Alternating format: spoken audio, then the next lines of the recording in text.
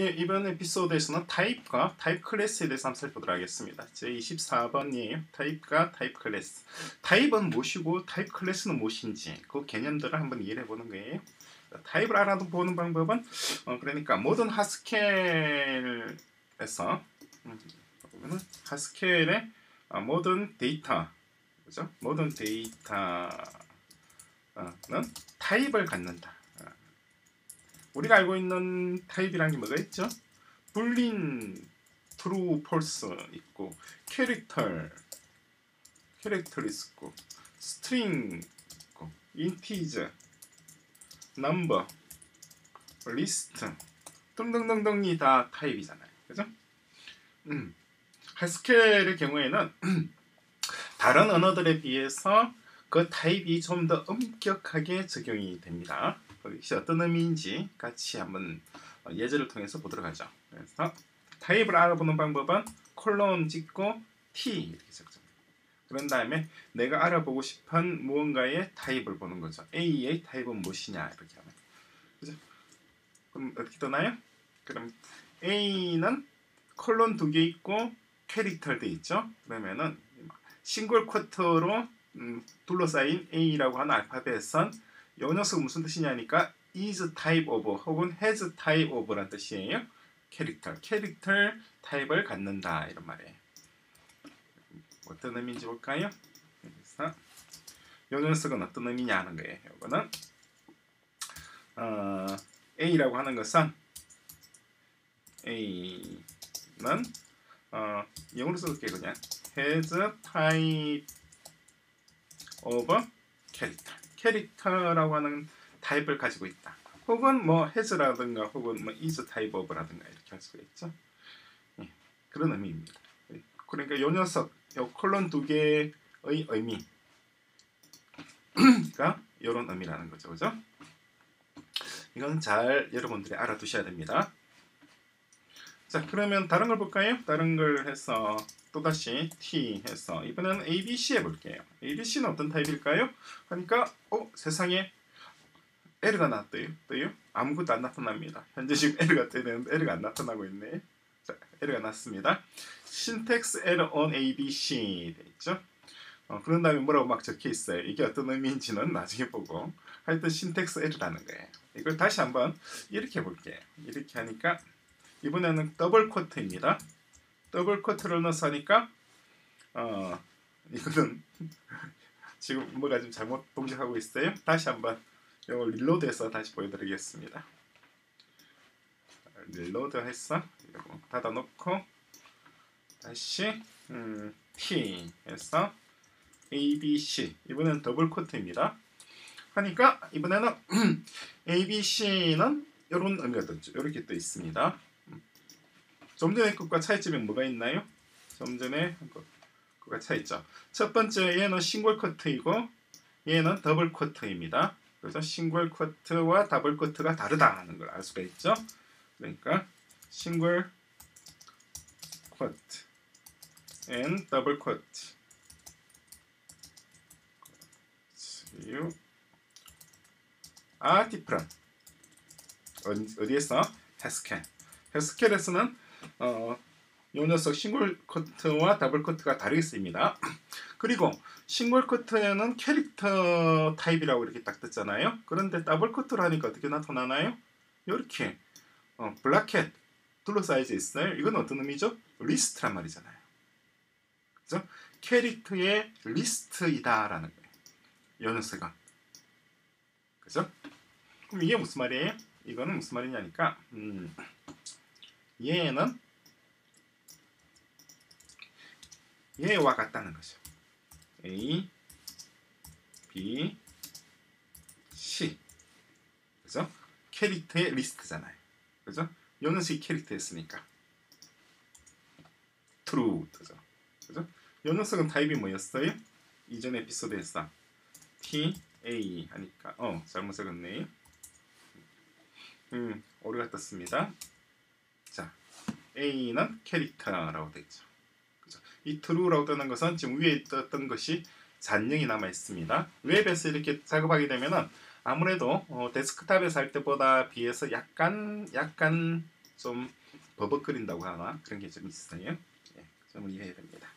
자 그럼 리스트도 한번 볼까요? 리스트 타입 중에 이런 것 중에서 어, 1, 2, 3 얘는 타입이 어떻게 뜰까요? 얘는 이렇게 떴어요. 어, 상당히 좀 재밌게 떴습니다. 자, 1, 2, 3이라고 하는 것은 타입이다. 어떤 타입이냐니까 num t 돼 있고 t 이렇게 돼 있어요. 이게 이게 도대체 무슨 뜻일까요? 밑에 트루는 무시하세요. 이건 지금 엉뚱한 이전에 우리 작업했던 그 잔영 그림자가 남아 있는 겁니다. 이게 어떤 의미, 의미일까요? 이게 어떤 의미인지를 좀 살펴야 됩니다. 이게 아주 중요해요. 왜 중요하냐니까 Haskell이라고 하는 언어는 다른 언어와 달리 이 타입에 굉장히 엄격합니다. 엄격하고 어, JavaScript 우리 기초로 공부했잖아요. JavaScript 기초 공부할 때 JavaScript는 타입에 전혀 개의치 않았죠. 그런데 Haskell은 정반대입니다. 그러므로 해서 JavaScript와 Haskell은 각기 다른 특징, 각기 다른 강력한 능력을 가져요. 그 능력의 핵심이 바로 이 타입에 있습니다. 이게 어떤 의미인지를 여러분들이 이해를 하셔야 돼요. 자, 우리가 알아보려고 하는 타입은 요, 이거라, 이거란 말이에요. 1, 2, 3을 가지고 있는 어, 원소를 가지고 있는 리스트란 말입니다. 얘는 어떤 타입이라고 알려주는 거예요? 알려주는데 보니까 이거는 fat arrow라고 보통 얘기하죠. 요것을 fat 뚱뚱한 화살이라고 얘기를 합니다. Num t 돼 있고 t 이 리스트가 이렇게 들어있단 말이에요. 그죠? 앞에 이 부분은 무슨 말인지 우리가 알겠는데 이 부분이 뭐냐는 거죠. 이 부분이. 이 부분이 뭔지. 이걸 우리가 영어로 한번 옮겨서 볼까요? 영어로 바꿔 쓰면은 t is none. 그죠? and t is in list 여기 이런 이런 의미예요. 자, t는 num이라고 하는 number라고 하는 타입이고 그죠? number라고 하는 타입에 해당하는 t가 어디 있느냐니까 리스트 속에 들어가 있다 이 말이에요. 굳이 이 t는 적을 필요 없겠네요. and is in list 이렇게 되죠. t is num and is in list 여기 주어 동사 보충어 동사 보충어 보충어로서 전치사구 이렇게 나와 있는 형식이죠. 우리 영어 영문법 시간제로 공부하고 있죠? 어, 이거 보고 영문법 구조가 정확히 눈에 들어오셔야 돼요.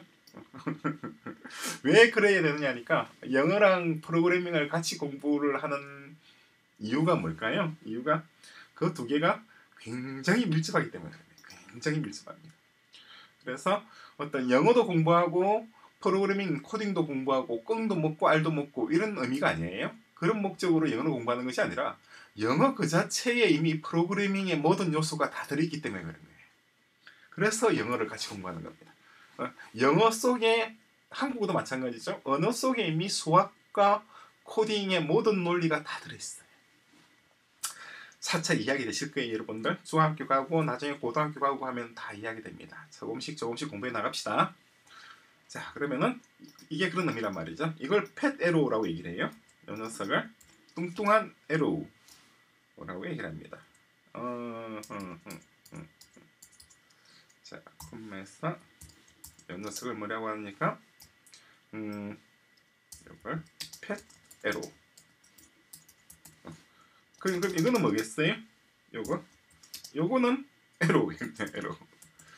이 에로에 비해서 이 에로가 약간 뚱뚱하죠. 그래서 펫 에로라고 부릅니다.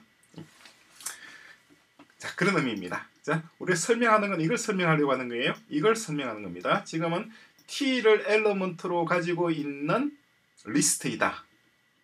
이런 뜻이에요. 요 녀석이 뭐예요? 요 녀석은 t를 엘러먼트로 가지고 있는 리스트이다. 그런데 그 t가 뭐냐는 거죠. 그 t는 넘버이다. 보니까 넘버 맞죠?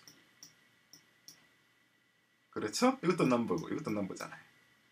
그게 이런 의미입니다. 그러니까 앞에 arrow 앞에 있는 이 부분이 arrow 뒤에 있는 이 부분을 설명하는 거예요. 이것을 definition이라고 얘기합니다. 그건 나, 나중에 또 말씀드릴게요. 자, 그런 의미입니다. 그러면은 이번에는 또 다른 타입을 한번 볼게요. T 해서 이번에는 A, B 요거의 어떤 타입인가 볼까요? 그러니까 이번에는 그냥 캐릭터의 리스트이다 이렇게 떴어요. 그러니까 이렇게 하는 것과 그죠? 이렇게 하는 것의 차이점이 뭘까요? 딱히 차이점이 없어요. 이 캐릭터가 뭔가를 앞에 만약에 설명을 한다 그러면은 이렇게 되는 거죠. 그래서 캐릭터 요것을 요 부분 요것을 이런 식으로 고쳐 쓸 수도 있습니다. 한번 고쳐 써 볼까요? 자, 요것을 요것을 이런 식으로 한번 바꿔보자는 거죠. 위에 있는 이 방식으로. 그럼 어떻게 될까요? 여기까지 똑같이 되겠죠? 똑같이 되고 다음에 캐릭터에서 뭔가 A 해서 이렇게 넣어주고 여기 리스트 안에다가 뭘 넣어주면 되나요? A 넣어주면 되죠. 그죠?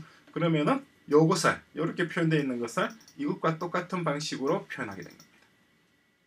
이해되시나요? 여기에 이해가 될 때까지 열심히 쳐다보셔야 됩니다. 지금 선생님이 설명한 이 부분 있죠? 이 부분을 완전히 이해를 하고 이해가 안 되는 부분이 조금이라도 있으면 게시판에다 질문을 남겨야 돼요.